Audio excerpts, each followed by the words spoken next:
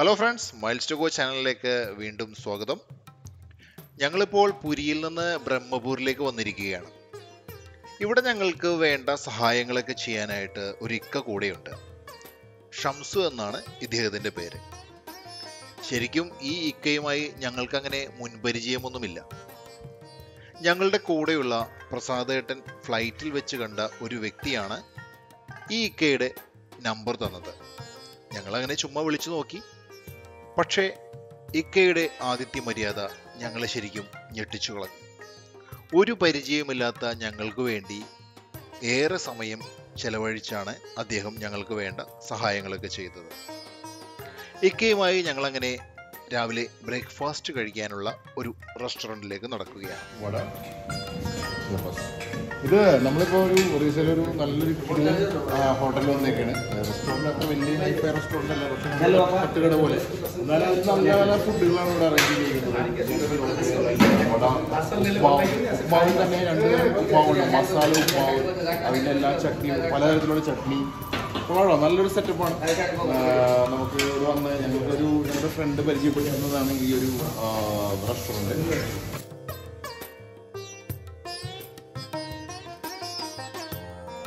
शमशेर भाई है ओडिशा में हमारा पूरा मदद किया दो दिन से हमारे लिए पूरा खाना उड़ीसा का ये उड़ीसा का जेन्युइन फूड हमें खिलाया आज सुबह अच्छा एकदम बढ़िया ब्रेकफास्ट खिलाया चाय पिलाया हम अभी तारा तारिणी की तरफ निकल रहे हैं हमारे लिए गाड़ी भी अरेंज करके दी है पूरा सुविधा दे दी है हमारे thank you thank you thanks എന്തുകൊണ്ട് ഇനി ഞങ്ങൾ പോകുന്നത് താരാതരണി ക്ഷേത്രത്തിലേക്കാണ് ആ ക്ഷേത്രത്തിലേക്കുള്ള ടാക്സിയെല്ലാം ഷംസുക്ക ഞങ്ങൾക്ക് വേണ്ടി അറേഞ്ച് ചെയ്തു തന്നു. അങ്ങനെ ഷംസുക്കയോട് നന്ദി പറഞ്ഞ് ഞങ്ങൾ യാത്ര തുടരുകയാണ്. ബ്രഹ്മപൂർ നഗരത്തിൽ നിന്ന് ഇരുപത്തെട്ട് കിലോമീറ്റർ അകലെ ഒഡീഷയിലെ ഗഞ്ചം ജില്ലയിലാണ് ഈ താരാതരണി ക്ഷേത്രം സ്ഥിതി ചെയ്യുന്നത്. ആദിശക്തിയുടെ ഒരു ഹൈന്ദവ ക്ഷേത്രമാണ് താരാതരണി ക്ഷേത്രം. ബ്രഹ്മപൂരിൽ നിന്ന് ഏകദേശം ഒരു മണിക്കൂർ യാത്രയുണ്ട് താരാതരണി ക്ഷേത്രത്തിലേക്ക്. മനോഹരമായ ഗ്രാമീണ കാഴ്ചകൾ കണ്ടുകൊണ്ടാണ് ഞങ്ങൾ പോകുന്നത്. ഗ്രാമീണ റോഡുകളാണെങ്കിലും നല്ല നിലവാരത്തിലാണ് നിർമ്മിച്ചിരിക്കുന്നത്.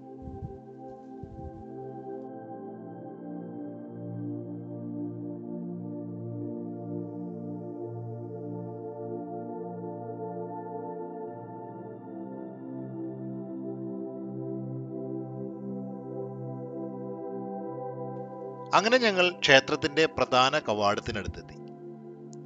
ദേവിയുടെ വസ്ത്രങ്ങളിലെ വർണപ്പൊലിമ അനുസ്മരിപ്പിക്കുന്ന രീതിയിലാണ് ഈ ക്ഷേത്രവും പരിസരവും ഒരുക്കിയിരിക്കുന്നത്. ചുവപ്പിന്റെ പല വകഭേദങ്ങൾ ഓരോ കടയിലും നമ്മൾക്കിവിടെ കാണുവാൻ സാധിക്കും. നിങ്ങൾ ഒഡീഷയിൽ ആത്മീയവും സാംസ്കാരികവുമായ ഒരു ലക്ഷ്യസ്ഥാനം തേടുകയാണെങ്കിൽ ഇന്ത്യയിലെ നാല് പ്രധാന ശക്തിപീഠങ്ങളിലൊന്ന് സന്ദർശിക്കാൻ ആഗ്രഹിക്കുന്നുണ്ടെങ്കിൽ നിങ്ങൾ തീർച്ചയായും ഒഡീഷയിലെ താരാതരണി ക്ഷേത്രം സന്ദർശിക്കണം. പൂജാദ്രവ്യങ്ങളും കരകൗശല വസ്തുക്കളും വിൽക്കുന്ന നിരവധി കടകൾ ഈ പ്രധാന പ്രവേശന കവാടത്തിന് സമീപത്തായുണ്ട്. ദേവിക്ക് വഴിപാടിനുള്ള പൂജാദ്രവ്യങ്ങൾ ഞങ്ങൾ ഈ കടകളിൽ നിന്ന് വാങ്ങിച്ചു. അതോടൊപ്പം ക്ഷേത്രത്തിന്റെ ഐതിഹ്യത്തെപ്പറ്റിയും മഹിമയെപ്പറ്റിയുമെല്ലാം ചോദിച്ചറിയുകയാണ് റെജിയേട്ടൻ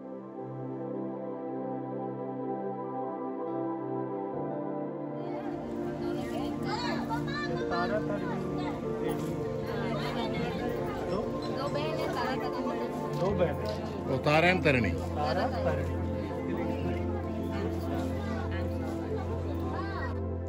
ക്ഷേത്രത്തിന്റെ പ്രധാന കവാടം സ്ഥിതി ചെയ്യുന്ന ഇവിടെ വരെയാണ് ടാക്സികളും മറ്റു വാഹനങ്ങളും എത്തുന്നത്. ഇവിടെ നിന്ന് മലമുകളിലുള്ള ക്ഷേത്രത്തിലേക്ക് പോകുവാൻ നാം ഒരു ബസ്സിൽ കയറി യാത്ര ചെയ്യണം. മുപ്പത് രൂപയാണ് ഒരാൾക്ക് അങ്ങോട്ടും ഇങ്ങോട്ടുമുള്ള ചാർജ്. ഏകദേശം പത്ത് മിനിറ്റുള്ള ഒരു യാത്രയാണ്. നമ്മുടെ K S R T C പോലെ ഒറീസ സർക്കാർ നടത്തുന്ന ഒരു സർവീസാണ് ഈ ബസ് യാത്ര. അങ്ങനെ ഞങ്ങൾ അഞ്ചുപേരും ടിക്കറ്റ് എല്ലാം എടുത്ത് മലമുകളിലേക്ക് യാത്ര തുടർന്നു.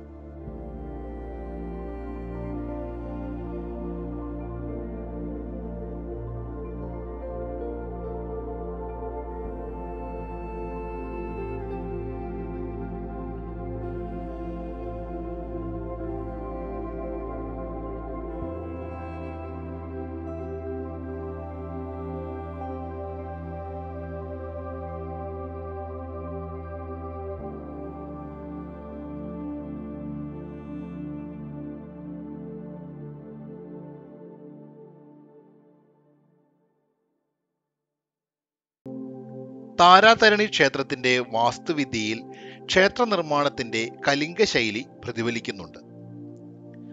വളഞ്ഞ മേൽക്കൂരയും ചതുരാകൃതിയിലുള്ള അടിത്തറയും സങ്കീർണമായ കൊത്തുപണികളാലും സവിശേഷമാണ് ഈ ക്ഷേത്രം. വ്യത്യസ്ത ദേവതകൾക്കായി സമർപ്പിച്ചിരിക്കുന്ന അഞ്ച് ക്ഷേത്രങ്ങൾ ഉൾക്കൊള്ളുന്നതാണ് ക്ഷേത്ര സമുച്ചയം. സ്വർണവും വെള്ളിയും കൊണ്ട് പൊതിഞ്ഞ രണ്ട് ശിലാവിഗ്രഹങ്ങളാൽ പ്രതിനിധാനം ചെയ്യുന്ന താരാതരണി എന്നിവർക്കാണ് പ്രധാന ക്ഷേത്രം സമർപ്പിച്ചിരിക്കുന്നത്. മറ്റ് നാല് ക്ഷേത്രങ്ങളും ശിവൻ ഗണേശൻ സൂര്യൻ വിഷ്ണു എന്നിവർക്ക് സമർപ്പിക്കപ്പെട്ടതാണ്.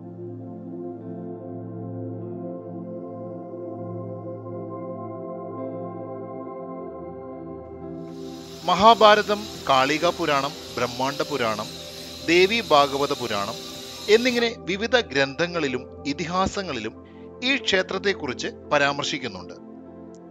നാല് പ്രധാന ശക്തിപീഠങ്ങളിൽ ഒന്നാണ് താരാതരണി എന്ന് ഞാൻ നേരത്തെ സൂചിപ്പിച്ചിരുന്നു. കാലക്രമേണ ഈ ശക്തിപീഠങ്ങളെ സംരക്ഷിക്കുകയും നവീകരിക്കുകയും ചെയ്ത വിവിധ രാജവംശങ്ങളുമായും ഭരണാധികാരികളുമായും ഈ ക്ഷേത്രം ബന്ധപ്പെട്ടിരിക്കുന്നു. അവയിൽ ചിലത് അശോകൻ സമുദ്രഗുപ്തൻ ഹർഷവർദ്ധനൻ എന്നിവരാണ്. നിരവധി ചരിത്ര സംഭവങ്ങൾക്കും മാറ്റങ്ങൾക്കും സാക്ഷ്യം വഹിച്ച ക്ഷേത്രം. ഇപ്പോൾ ദശലക്ഷക്കണക്കിന് തീർത്ഥാടകരുടെ വിശ്വാസത്തിന്റെയും ഭക്തിയുടെയും കേന്ദ്രമായി ഇപ്പോഴും നിലകൊള്ളുന്നു.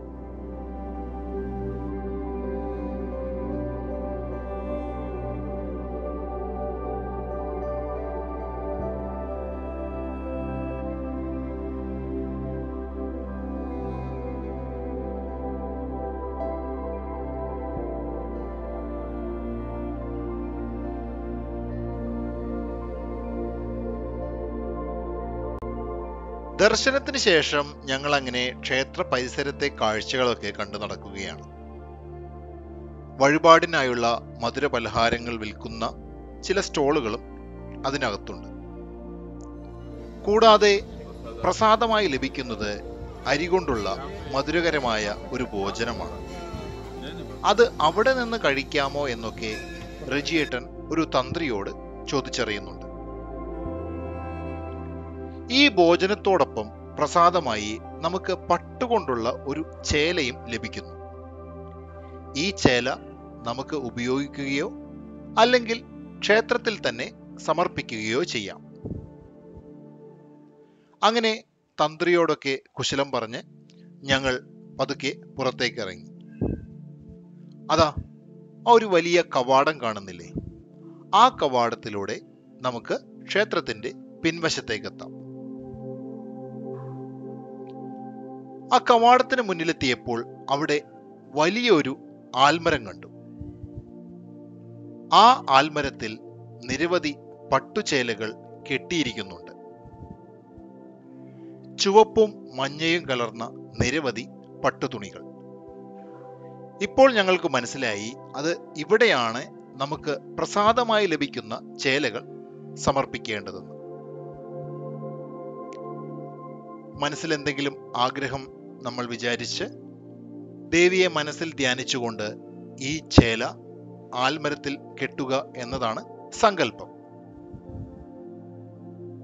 എന്തായാലും ഇത്ര ദൂരം കേരളത്തിൽ നിന്നും വന്നതല്ലേ?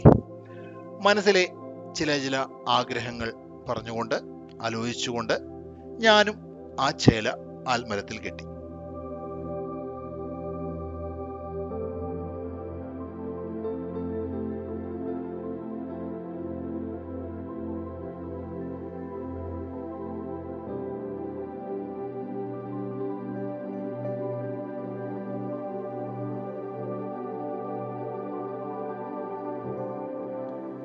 തെക്കൻ ഒറീസയിലെ മിക്കവാറും എല്ലാ വീടുകളിലും താരാതരണി ദേവതകൾ ഗൃഹത്തിന്റെ അധിപതിയായി കണക്കാക്കപ്പെടുന്നു.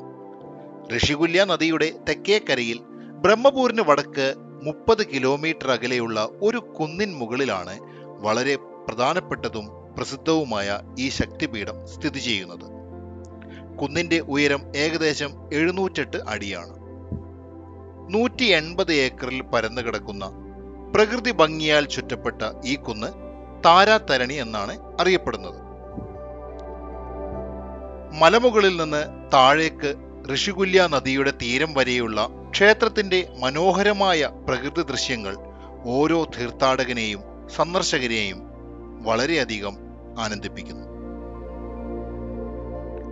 ക്ഷേത്രത്തിലേക്ക് പോകുന്ന കുന്നിന്റെ മുൻവശത്ത് ഏകദേശം ആയിരം പടികളുണ്ട്. കുന്നിന്റെ പിൻഭാഗത്ത് വാഹനങ്ങൾക്കായി ഒരു റോഡും ഇവിടെ ഒരുക്കിയിട്ടുണ്ട്.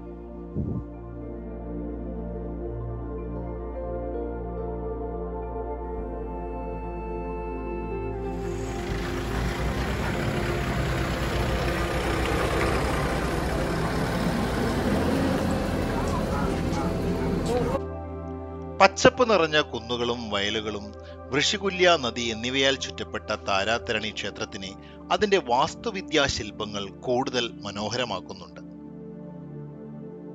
അങ്ങനെ ആ മനോഹരമായ ക്ഷേത്രത്തിലെ കാഴ്ചകളെല്ലാം കണ്ട് ഞങ്ങൾ പുറത്തേക്ക് ഇറങ്ങുകയാണ്. പുറത്തപ്പോഴും കടകളിൽ വഴിപാട് കേന്ദ്രങ്ങളിൽ ആ പൂജാദ്രവ്യ സാധനങ്ങൾ വിൽക്കുന്ന കടകളിൽ നല്ല തിരക്കുണ്ടായിരുന്നു. വർണശബളമായ ദേവിയുടെ പട്ടുചേലകൾ അവിടെ ഇങ്ങനെ നിരത്തിയിട്ടിരിക്കുന്നു. ആ ഒരു കാഴ്ച നമ്മളുടെ കണ്ണിനെ നന്നായി ആനന്ദിപ്പിക്കുന്നുണ്ട്. അങ്ങനെ താരാത്തരണിയിൽ നിന്ന് ഞങ്ങൾ ഇറങ്ങുകയാണ്.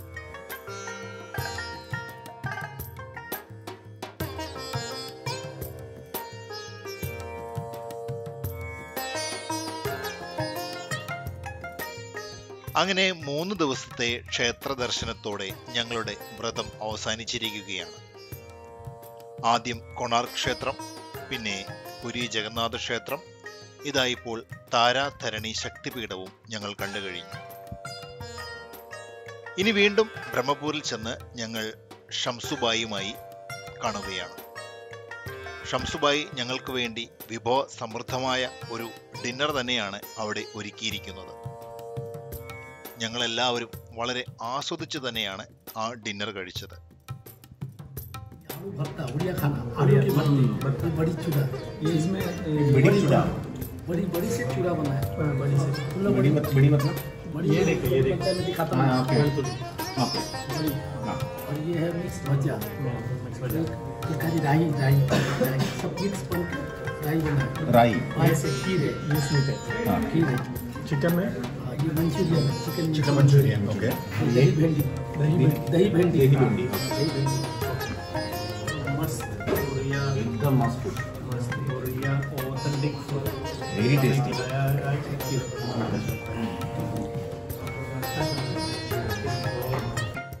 അങ്ങനെ ഞങ്ങൾ ഷംസുബായിയോട് യാത്ര പറയുകയാണ്.